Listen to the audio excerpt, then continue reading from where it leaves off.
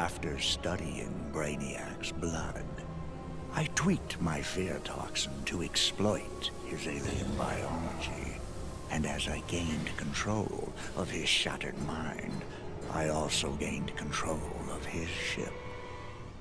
I began to explore Brainiac's enormous collection, soon realizing it was an unprecedented opportunity for study.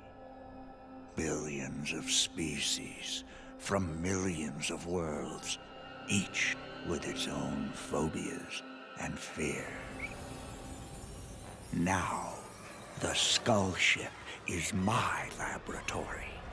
As it glides through the vast darkness of space, its collected beings are subjected to their worst nightmares.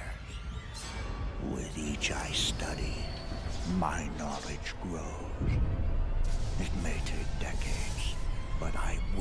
Become the universe's greatest master of fear.